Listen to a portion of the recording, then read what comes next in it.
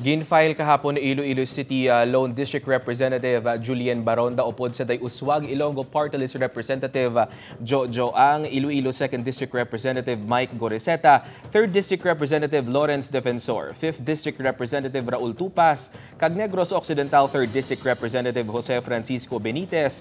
Ang resolusyon nga nagahinyo sa ang Congress Congressional Inquiry.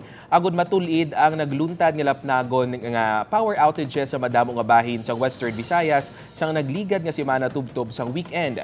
Pila lang sa mga luyag mahibaluan sa mga kongresista amo ang uh, kunyaan naglawig sang tatlo ka adlaw ang power interruption. Mayara bala sang long-term solution ang ah, NGCP kag paano sini masiguro nga hindi na masulit ang natabo kag kun syempre supisyente bala ang ilag na supply sa mga power distributor.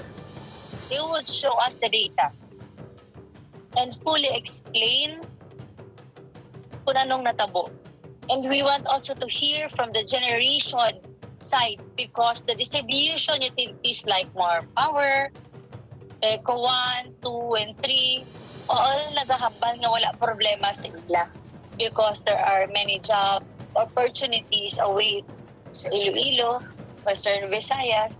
So kung padayon ini mag-trip off ang mga kuryente, hindi ni maayo nga para sa aton ng mga business sector who wish to invest in Iloilo. Posibilidad din na, no, uh, na naputan matarapay na no, ang possible uh, am- amendments of this uh, illegal law and uh, including that of uh, uh, NGCP